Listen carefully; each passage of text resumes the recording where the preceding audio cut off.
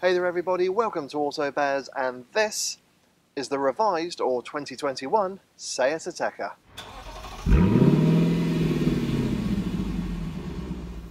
In 2016, Seat shocked the automotive world by announcing that they were bringing out an SUV. And although the Ateca was late to the game, it went straight to the top of its class. Here we had a car that was really good looking, practical, but most importantly, it was genuinely good fun to drive. It actually felt like a Seat SUV, and as a result, it's been a huge hit for the Spanish brand. Now, granted, as the years have rolled by, we have had some new arrivals appear, and the Ateca has been knocked off the top spot. But for 2021, Seat have given it a bit of a midlife refresh with new exterior and interior design, improved tech, and a refresh to the engines and I've had this new Ateca for a week and I'm going to let you know if it's still the sporty SUV that we've come to love. Styling wise, well, Seat didn't really have to do much to this Ateca in order to give it a bit of a midlife refresh because it was already a really handsome and distinctive car.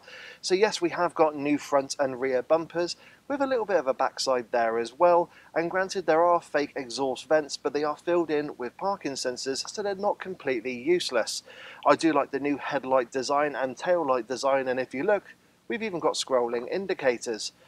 But really, the main way to tell that this is the new Ateca or revised Ateca is at the name badge, where it actually has that handwritten look, which we first saw on the new Seat Leon. And if you click up in the top right hand corner, you can watch my review of that new hatchback. But all in all, yes, the Ateca has had its midlife refresh. It does look sharper at the front and back, but it's still a very handsome car. And I think that's enough of looking at the outside of this new Ateca. Let's have a little look at the inside. Sat in the front of the newer Ateca, you are greeted by a very comfortable and well laid out interior, but it's not the most exciting in terms of design.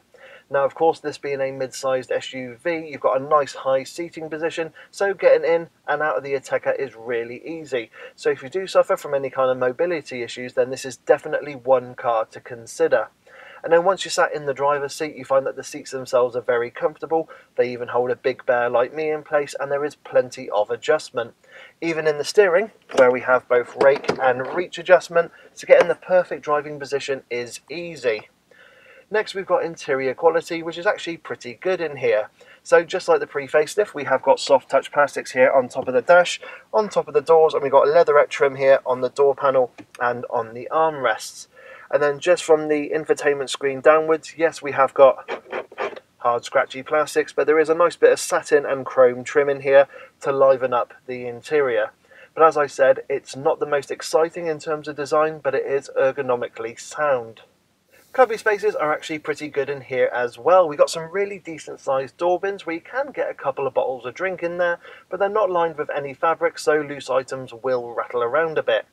Then in front of the gear lever, we got a dedicated slot to put your mobile phone. There is wireless charging on this particular car, and there's a little bit of a gap on the side of it there, so you could put some pens or some loose change in there. We've also got two USB-C inputs and a 12 volt socket.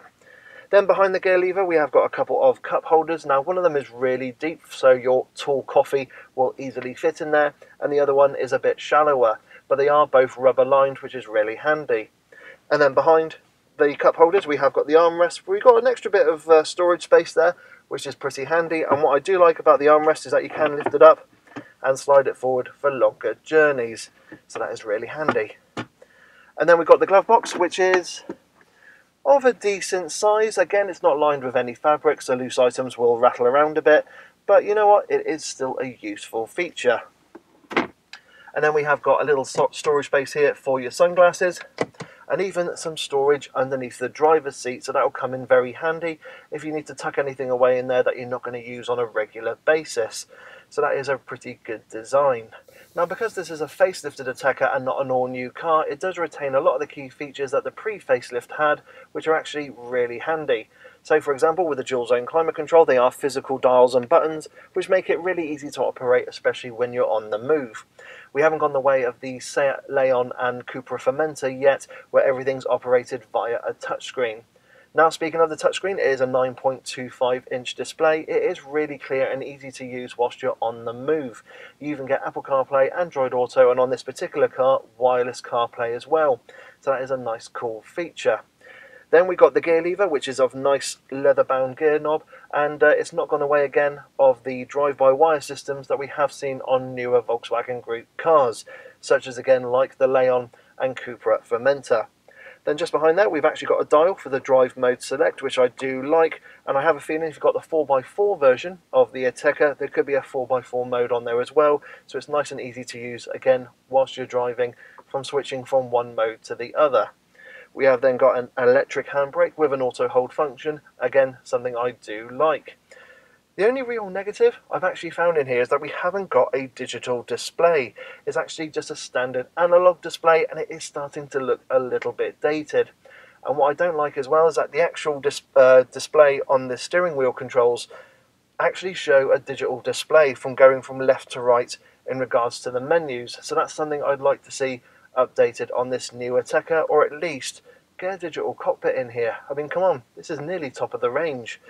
But other than that, it's a nice, comfortable interior and yeah, it's actually really sound ergonomically. I just hope they don't change it too much when the all-new Ateca comes out in a few years' time. But that's enough of sitting in the front of this new Seat. Let's go and sit in the back. Sat in the back of the Ateca, there is still plenty of space back here, and this is definitely one of the highlights of this family SUV. Now, that driver's seat is set to my driving position. I'm 5 foot 7 tall and 5 foot 7 wide, and as you can see, I've got loads of knee room, and headroom is really impressive as well. You could definitely get a couple of six footers sat in the back of the Ateca, and I definitely think you can get three kids back here, but probably not three adults because if they've got broad shoulders like me, they'll definitely feel the squeeze. Now speaking of kids, there are ISOFIX supports on the outer seats and they're nice and easy to affix a child seat because there's actually no covers to them, so that is really handy. Cubby spaces are really good in here as well. We've got some decent sized door bins where you can get a medium sized bottle of drink. We've got the aeroplane style pockets on the backs of the front seats and we've also got an armrest with a couple of cup holders and also we've got a ski chute where you can load through from the boot. So if you've got any longer items, that is really handy. Also on the back of the main armrest we've got a couple of air vents and also two USB-C charging inputs. So that's really handy if you've got kids back here with mobile devices.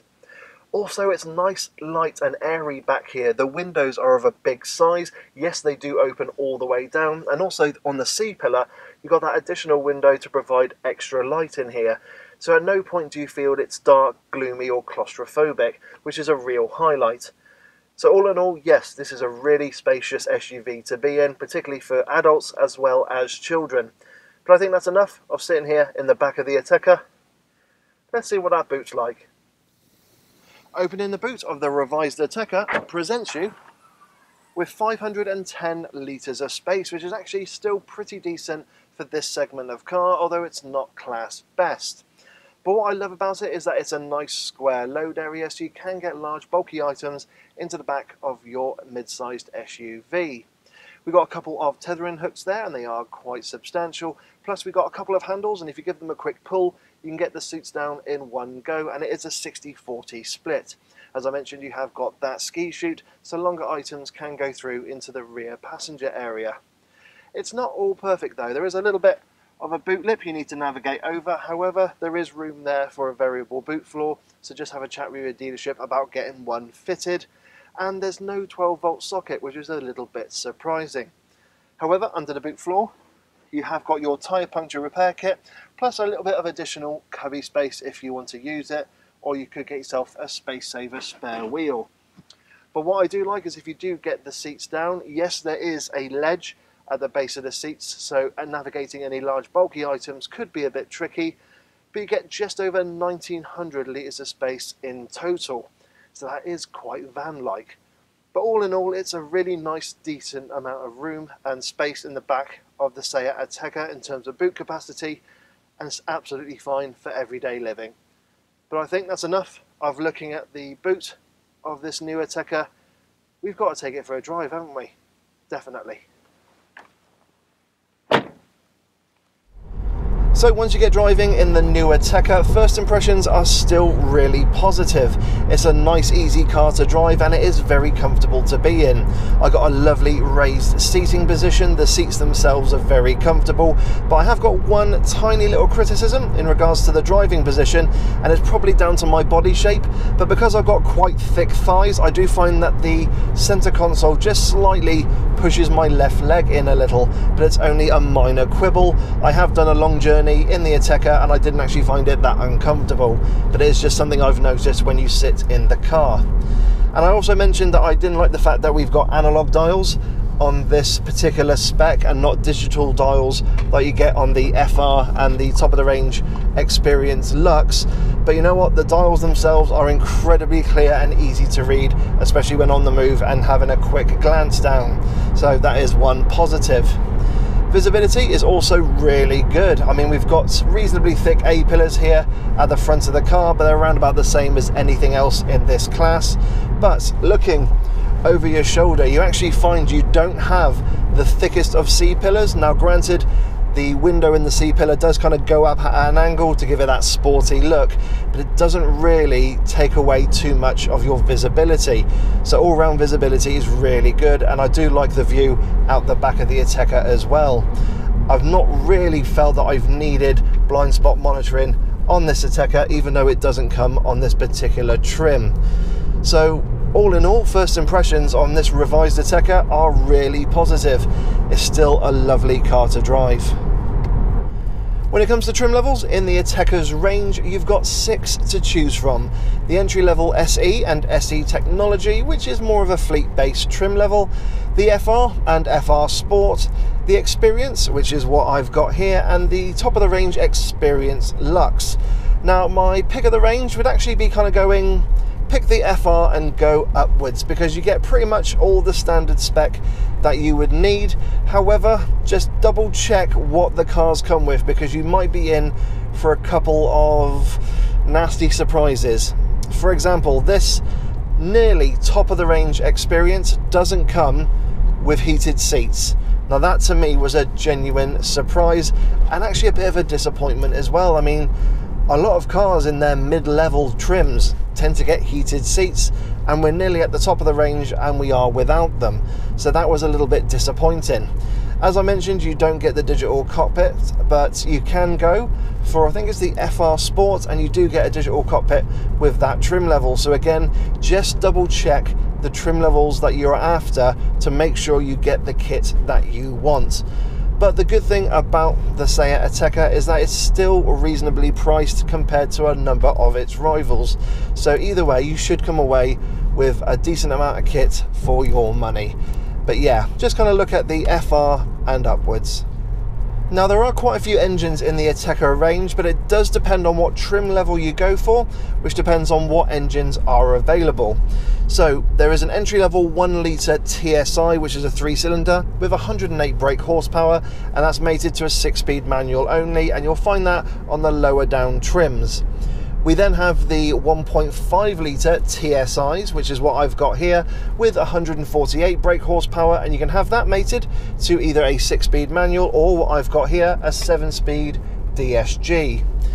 They have then got a 2 litre petrol with 188 brake horsepower, and that's DSG only. And then we've got the diesels. So it is a 2 litre 4 cylinder turbocharged diesel with 148 brake horsepower. And you can have that mated to either a 6 speed manual, 7 speed DSG, or if you go for the 4 wheel drive version of the Ateca, which is diesel only, again a 7 speed DSG. But as I mentioned, you just got to make sure you got the trim level you want to get the engine you want, and that way you will be really happy. But my pick of the engine choices would definitely be the 1.5. It's just the perfect all-rounder. It's got a decent amount of performance for the size of car, and it's actually reasonably frugal. Now, Seat say I should get between 39.8 and 43 miles per gallon on a combined cycle. Now, the car I've been in this week has just done about a thousand miles, so it's probably not fully bedded in yet, but I did manage to achieve 39.2 miles per gallon on a long run. So I do believe, say and agree that that MPG range is achievable. But of course, if you are doing loads of miles on the motorway, then I would definitely recommend one of the diesels because it will be a lot more frugal. But the 1.5 is just a lovely, sweet engine. It's a tried and tested engine as well in the Volkswagen group. And what I do like is that it does come now with cylinder deactivation on the Ateca, so you can drive around in just two cylinders. So again, that will just help with boosting the car's economy. And it's also a very sweet engine as well. It's got very little in the way of noise coming through into the cabin. It's only when you really put your foot down that you do hear it and you do hear that distinctive four cylinder thrum. But other than that, it's absolutely fine. But if you're after the one litre, then you've got to go for a lower down spec. So I've got the 1.5 litre TSI mated to that 7 speed DSG, and I think it is a really nice combination. The gear changes are really smooth and you can barely hear them, and you don't actually feel them at all unless you really are quite forceful with putting your foot down on the accelerator. The only time you really kind of feel the disadvantages of the DSG is when you're pulling away from a standstill where it can be a little bit hesitant and sluggish when uh, engaging and pulling away. But other than that, it's absolutely fine. And if you put it in sport mode, it is actually a really quick changer. And I do love the fact you've got flappy paddles on the back of the steering wheel and you've got the manual mode as well with the gear stick. As I said, we haven't yet gone to the drive-by-wire little lever, which we've seen now on new Volkswagen Group cars like the Leon, Octavia, Golf and Audi A3 but it is a nice combination but if you are after a bit more power of course you can go for that 2 litre petrol with just shy of 190 brake horsepower and that will definitely give you an extra boost in performance However, it is going to hit you in terms of economy and also with the price of the car. So that's just something to be aware of. So, what's the ride refinement and handling like in the new Ateca? Well, ride wise, this was always considered an Achilles heel for the Ateca because the ride was quite firm, but then again, that lent to that sporty feel in this SUV. And I can tell you that the ride is pretty much the same. I mean, it is a little bit firmer than most of its rivals, but it does mean it handles brilliantly, and we'll get onto that in a moment. But for day to day driving, I've had no issues at all with the suspension, the ride, and the dampening of the Ateca. It's absolutely fine for day to day driving.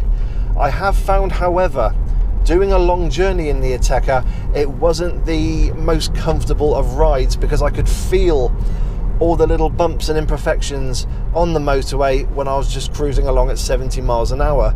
And it meant that it didn't really feel like the most settled of rides. So that was something that did disappoint me a little bit.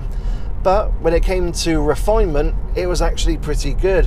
Very little in the way of engine noise, also very little in the way of tyre roar. It was really just a bit of wind noise off the wing mirror I heard coming into the cabin driving without any music going. So, in terms of refinement levels, it's actually still pretty good. And then we come on to the sweet spot, which is the handling in the Ateca, and this is where it trumps pretty much all of its rivals. Now, granted, I've not driven a couple of the newer rivals, like the new Ford Kuga and the very striking Hyundai Tucson, but if they handle anywhere as near as good as this Ateca, then they will be very special cars indeed because this thing is an absolute joy to drive. You just want to chuck it in the corners, you want to give it a bit of an exuberant kind of throw about when you're driving along, and it does actually reward you and it does put a big smile on your face. And that's one of the things I really do like about this Ateca is that it does feel like a Seat SUV. It feels like those old Seats of old where they just drove brilliantly, but you just got it in an SUV shell. And that's something I really do like about it. Now, granted, this is two wheel drive and the power goes to the front. So, if you do chuck it into a corner on a damp day, it is going to let go and understeer, but it is very predictable. However, on the couple of days I have driven the Ateca and it's been dry, well, this thing just grips for dear life. And again, it just adds to that funness that you don't get from a lot of other SUVs in this class. Now, also as well, when you do chuck it into a corner, there is the tiniest amount of lean, but it's nowhere near as kind of rolly as a Skoda Karoq or a Peugeot 3008.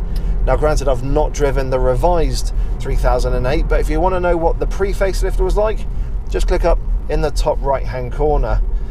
But yeah, ride, refinement, handling in this revised Ateca are really sweet. This is one of the real highlights on this car. And I know you can see me kind of bouncing up and down as I go over these sleeping policemen, but it's not uncomfortable.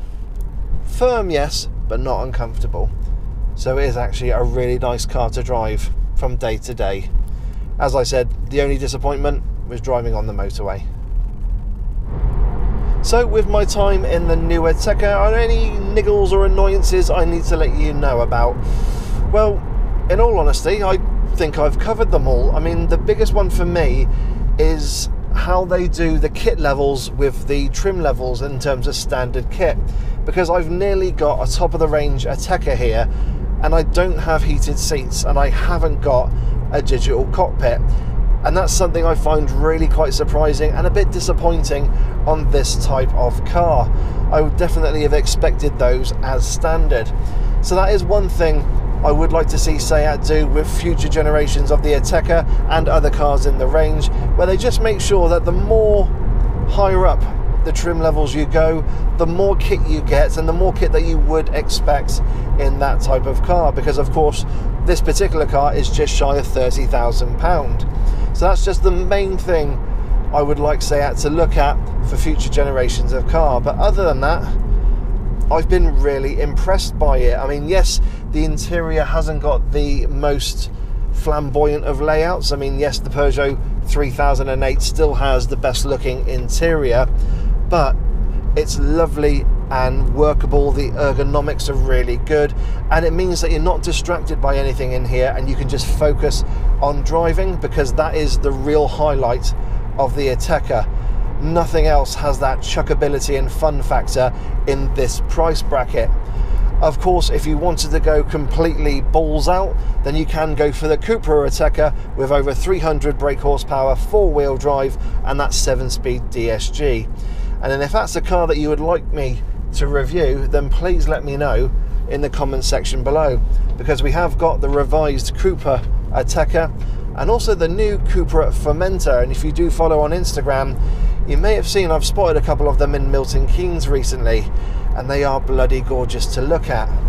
But no, in terms of any kind of niggles I found with the Ateca, it's just the trim levels and the standard kit you get with them. But other than that, I've been really impressed by it. So, what are my thoughts on the new or revised Seat Ateca? Well, when the Ateca first appeared, it blew everyone away because we had a good looking, practical, and reasonably priced SUV that was also incredibly good fun to drive. And as time has gone on, yes, a number of its rivals have pipped it to the top spot, particularly if you're not after a sporty SUV. So cars like the Skoda Karoq were deemed a better fit. But if you are still after a sporty, medium sized family SUV for everyday driving, you can't really go wrong with the Ateca. You have got a great choice of trim levels and engines to go with it. As I said, just double check what you get as standard with each trim level. But in terms of that overall sporty SUV package, it does a brilliant job of ticking all those boxes. I have really enjoyed it. Of course, if you want to go nuts and go for the Cupra, you can do, but that's technically not classed as a Seat. But in terms of a day to day SUV, it definitely has to be one you have to take a test drive in. If you're just after a family mid sized SUV, because if you specify that comfort is important to you, then I would probably recommend just staying away from the Ateca and go look at the Skoda Karoq because it has all the practical strengths of the Seat but none of the sporty firm ride weaknesses if you consider them weaknesses. So yeah, the revised Ateca is still a bloody good all-round family SUV and I do recommend you take a test drive in it because on a B road it is still lots of fun and I really do love it. So, everyone, I hope you've enjoyed my review on the revised Seat Ateca. As always, please hit that like button, don't forget to subscribe and hit the bell notifications icon to let you know when I, Dave the Auto Bear, bring out a new video. Of course, I am on Facebook, Instagram, and Twitter, and I always advise for you to follow me on there for additional content, including live videos, still images of cars I review, and events I go to. If you've got any questions about the new Ateca and my time with it, please put them down in the comments section below. But in the meantime, guys, I hope you're all staying safe, maintain your social distancing, wear a mask, and wash your hands. And I will catch you all in the next video. So take care, have a great day, and bye bye.